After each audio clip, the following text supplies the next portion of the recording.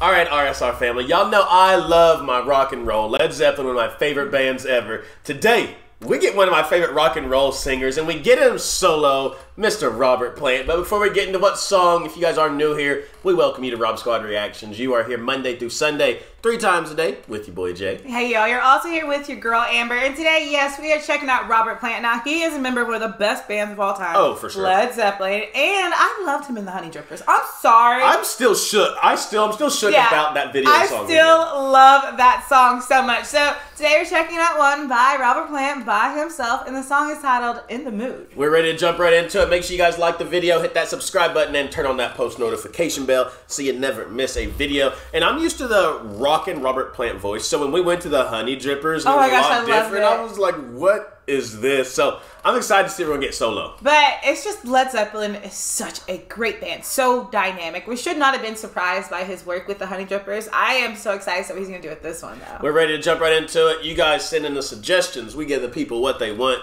Let's check out Robert Plant in the mood. Let's get it.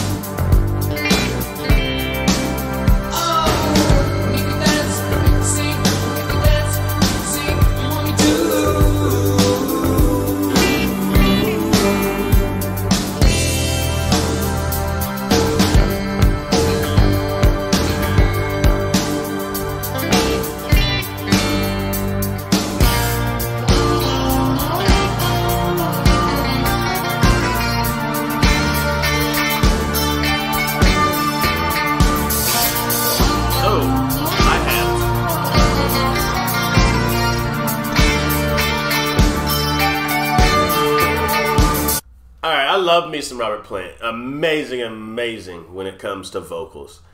But I like his rock vocals better. Okay, but that's the thing. I feel like in this song, it's not the that's not exactly the point. Like when Right, we listen yeah, to him I know Zeppelin, that, we know that he can. We know his vocals are out of this world. But I like Led Zeppelin playing. Yeah, but I think in this one, it's more about the cadence. Like I love, mood. like in the mood, right? I love how the cadence is fast, and then it's it, the way he draws out the the next note in the mood. You know, I love the cadence switch, and I love that it kind of just has that same cool rhythm in the way he sings it. And what stands out the most behind him is really those beautiful way the instruments are, are incorporated. I mean, think about that when that bass line came in, we both caught on to that when it had its moment. And then when we have the other, the electric guitar, it's played in such a cool tone and it's used in the perfect places where it just stands out to where it makes it fun, but I'm catching on to his cadence and I just kind of like rolling with his voice No, on this one. I, I like it. I like obviously Led Zeppelin, Robert Plant.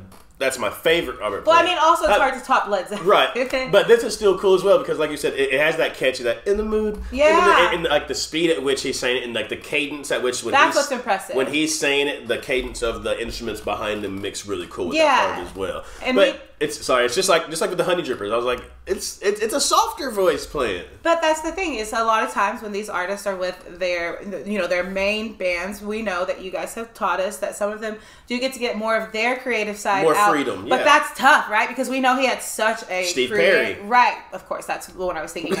but we know he had like such a um, creative say in Led Zeppelin too. So to see just how much of an artist he is, to be able to tap into the very different things and very different varieties that Led Zeppelin gave us, to be able to give us what he did with Honey Drippers, and then here it just shows the creative he is to be able to do so much so well. And just musically, like that's what we're talking about here. It's kind of just always together Sure. musically. Let's get back.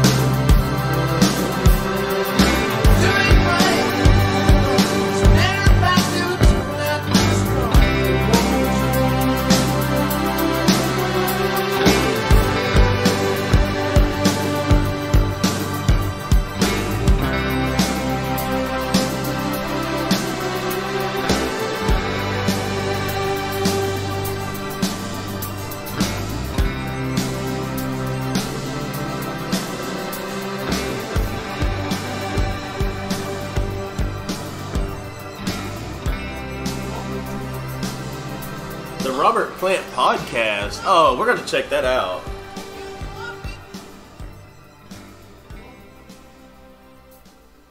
Awesome. No, it was cool, and like at, at the end, I, I was thinking like it kind of gave me like like a like a Phil Collins type of vibe because you know like at the very Uh-huh. beginning we listened to him, we were like, oh, this is awesome. Like we thought he was like really serious, and then we got to some of his solo uh Gen not his solo, but his Genesis stuff. We're like, stuff. who is this guy? Yeah, yeah. I, I get kind of that same feeling from Robert Plant as well because you know obviously the Led Zeppelin ties, but when he goes solo, it's just so so different from what I think a lot of us would expect. But it's still it's still cool at the same time. For sure. There was also something about this one that was almost relaxing. Like when I do yoga, I always find songs that have that relaxing, like a tranquil feeling. And I would not expect to go into a Robert Plant song and think that I'm gonna feel that same way Zen. and maybe take that away. It felt, I don't know, it was the way the instruments were used. It was the fact of the way he was delivering those lines. It, we, like I said, we know he has a range, but in this one, it was just more about the the cadence and you know how he gave us those Right. notes. It was beautiful. It was relaxing. Mm. Like like I said, dare I said tranquil. There was something about it that I really enjoyed. Well, thank you guys so much for that suggestion. As we always send you out of here, we love you, we thank you, we appreciate you, and remember every day that you wake up, it is a blessing, and that you are blessed. And for your new family members, to hit that subscribe button down below. We welcome y'all to the RSR family, but you have a goal every day, just like we do. Let them know, man. All right, y'all. All you got to do is make somebody smile. We love you guys. Till next time, we'll see y'all later.